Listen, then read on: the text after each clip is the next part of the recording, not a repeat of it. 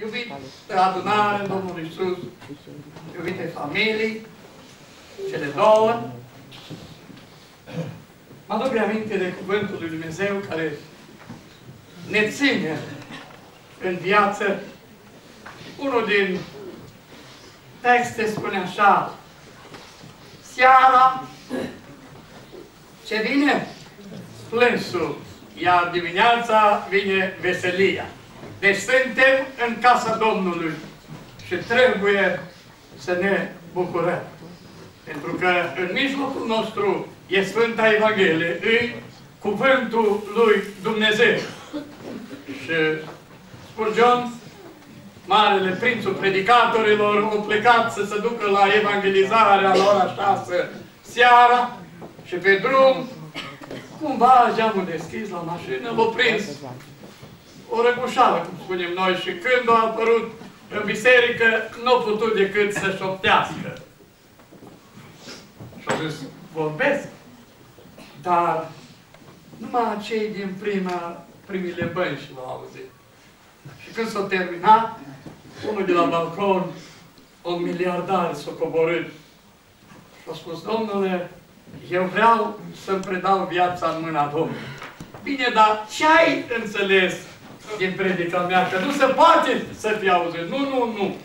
Eu vreau să-mi strălușească fața ca ta. Tu n-ai putut vorbi, dar tu trebuie că ești un om fericit.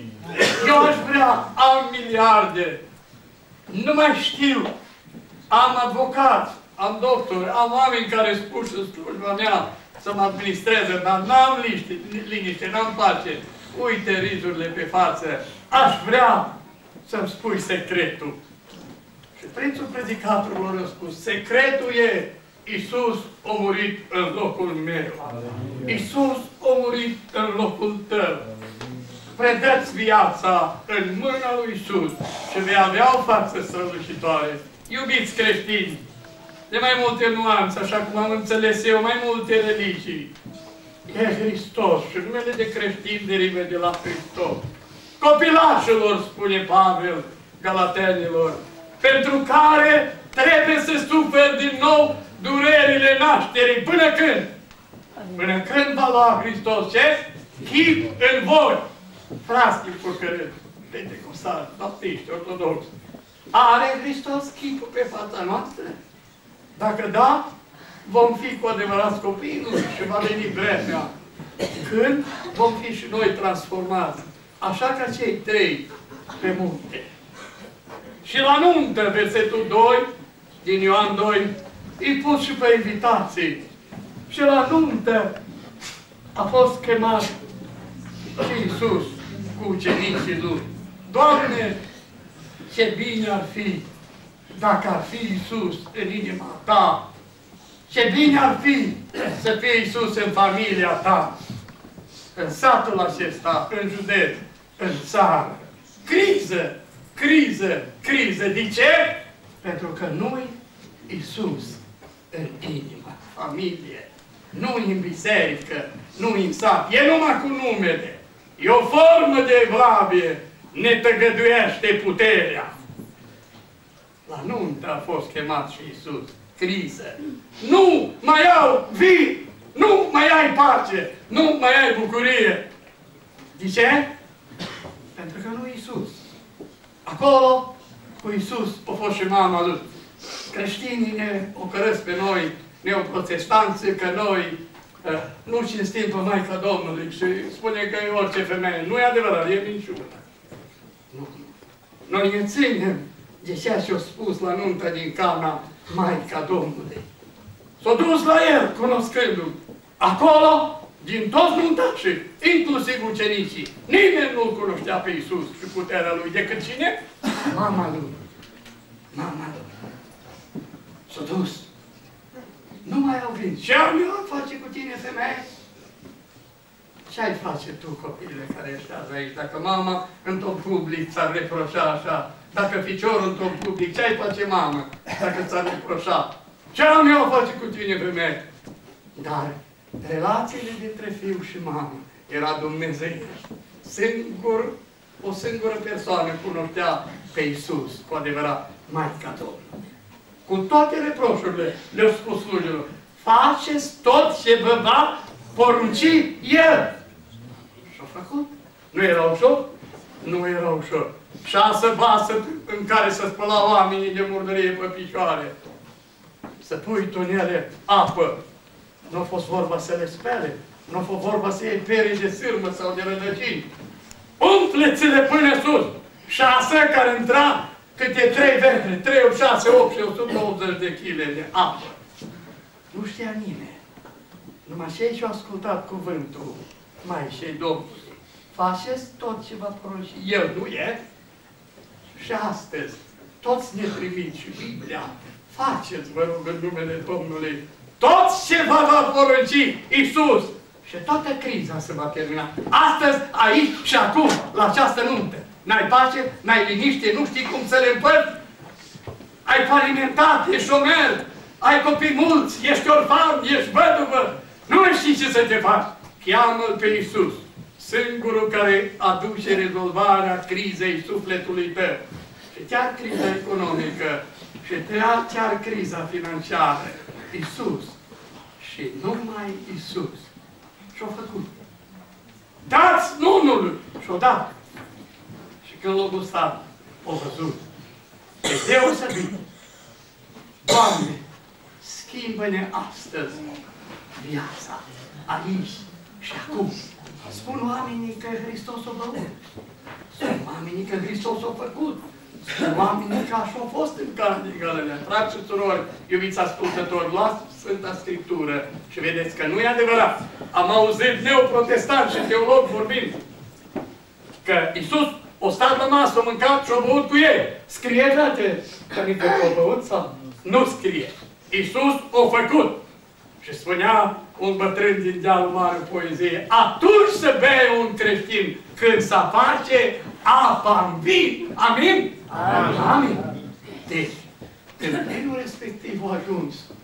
ce cu el? De unde De ce ați făcut greșeala?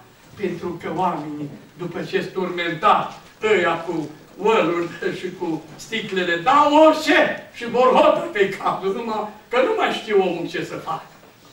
Cine va veni la mine și o spus, chiar cu Biblia în mână, fratelor, dai voi! Eram zilele trecute vreo 30 de oameni la baie, într-o vană acolo, într-o, la Toropul, spunem noi. 30 de oameni, toți era de acord că se poate bea. Și eu le-am spus, da, dacă fasolea care ai făcut-o o lași până când fierbe, să strică și o mânci cu pofte sau cartofi, voie să bei. De ce trebuie să lași strugurii să fiarbă, să se strice? De ce trebuie să lași mălaiul și grâul să fiarbă? De ce trebuie prunile, te doare nasul când treci acolo? Și apoi numai atunci, după ce o fierb, după ce s-o străcat, apoi din ele faci ceva, nu-i mare minune că te tuieșești de cap. Dar dacă dai din vinul, din la nunta din Cana Galilei, te-ai trezit și cum spune cântarea, cupa o mergi din mână în mână până când toți s-o trezit. Și ochii s-au de unde vine vine? Nu știa nimeni numai robii. Și robii au îndreptat. Cu Maica Domnului împreună, ochii spre Hristos. Și uitați noastră ce spune astăzi în Matei 17, versetul Ei au ridicat ochii și n-au văzut pe nimeni decât pe Iisus singur. Aș dori de la această nuntă, iubiți mine, știți că vă iubesc. Știți că țin la familiile voastre. Tocmai de am venit aici, pentru că vă iubesc. Nimeni nu are dreptul să intre în familia voastră. Nici rudenii, nici nănași, nu spun oamenii. În centrul vieții voastre, Rodica Ion, să fie Iisus. Orice ați avea. Eu am făcut o mare greșeală în viața mea, poate mai multe. Având și eu familii mari, în loc să trec în camera dinainte să spui lui Isus, cum spune cântarea, spune lui Isus orice durere când te apasă greu. Spune-i lui Isus, spune-i lui Isus. Unul dintre tinerii mei, un om care am crezut că e cel mai trecut și mai secret, m-am dus lui și am spus durere. El a spus la fată, fata la fată și, și astăzi sunt aproape 10 ani. Și astăzi sufer din cauza vorbii care am spus-o ginerului. Și de atunci am zis, Doamne, ajută să mă duc în cale. Iisus, în mijloc, frunea împletită în trei, nu se rupe așa ușor. Iubiți frați și surori, iubiți ascultători, ne-am înțeles cu fratele Victor, am aici un prieten. Când l-am văzut intrând pe ușă, m-am umplut de bucurie și aș vrea să închei dorind ca Dumnezeu să-L binecuvintează. Încheind, spuindu-vă, cei trei pe munte sunt oameni poate aici care nu cred nici în răpire, nici în înviere. Fratele o predicat. Ultimul verset din 16 spune așa. Mulți din cei ce sunt aici, unii din cei ce sunt aici, nu vor gusta moartea până nu vor vedea venind ce? Împărăția lui Dumnezeu. Și Împărăția lui Dumnezeu a venit în comitetul restrâns a Domnului Iisus Petru Iacov și Ioan. A venit Moise, care reprezintă pe cei schimba, cei ce cred, cei ce trăiesc viața și vor fi vii când va veni Domnul Iisus. La o străgare, la o trâmbiță, ei vor fi schimbați. Ilie reprezintă pe cei răpiți. Elisei, care dorea să-l vadă.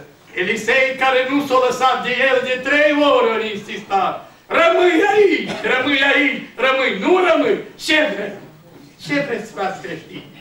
Vreți ce-o vrut Elisei? Așa de s-a întâmplat. Ce vrea Ilie? Ce vrei Elisei? Știți ce vreau? Un pic de putere din puterea ta să-mi dai, că eu rămân aici, nu mai pot trece Iordanul. Atât? Vreau o îndoită putere din Duhul tău. A, pe mine nu mi-e greu, că eu se lie proroc, îți dau câte vrei. Greu lucruri ce Dacă mi vedea când plec, da, dacă nu bat. 12 perechi de boi au avut. Nu știu dacă cineva în Purcărești sau în Chiuiești au avut. 12 perechi de boi au avut. Elisei rămas acasă. El era cu 12 dar nici nu-mi trece până gând că el s-a mai gândit la 12 perechi de boi să mai margă acasă. El s-a gândit să continue să ia ștafeta lui Dumnezeu.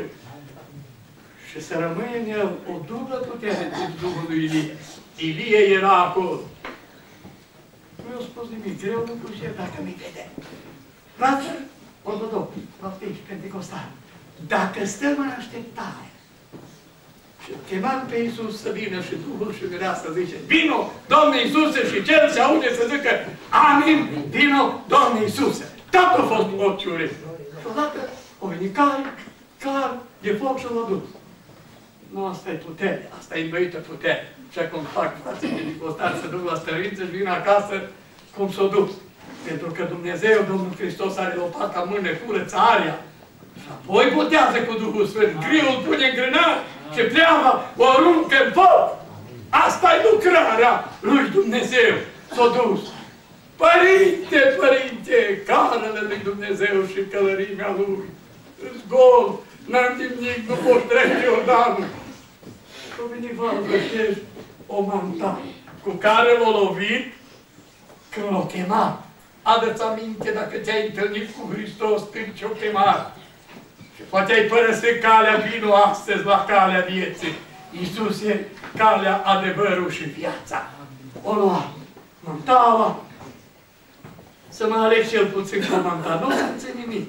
Și când a ajuns la Iordan, o lua mantaua și a zis, unde-i Dumnezeu meu că am o dublă putere, da? Nu. Unde-i Dumnezeul Ilie? Aici e Dumnezeul Ilie, pentru că l-ai văzut când s-a dus. O lovit Iordanul.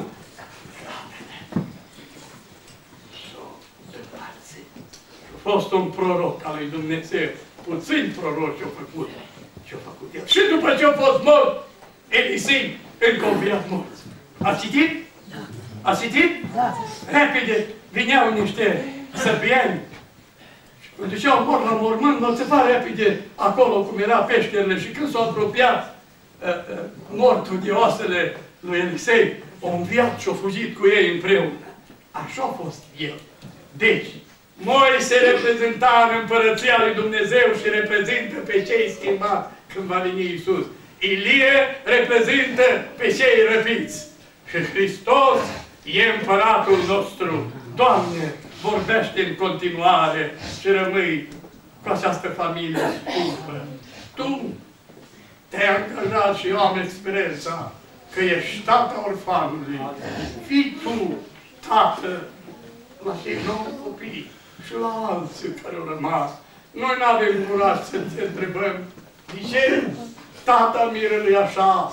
De ce cei doi părinți a mireasă s-au dus? Noi atâta vrem. Unul din familie, dacă îl cunoaște pe Iisus, să rezolvă criza. Doamne, unul din biserică, de ce ai scandal, de ce ai neînțelegere, nu cunoaște pe Iisus. Doamne, ajută-ne de astăzi înainte să te cunoaștem cu adevărat și să rezolva toate crizele și vom fi copii tăi. Și când vei veni, nu ne lăsa nici în chiuiești, nici în porcăreți. Nu ne lăsa. Ne-am săturat. Du-ne acasă. Și Duhul și Mireasa spune, vine Iisus. Vine Iisus. Maranata, Domnul vine. Să fim gata.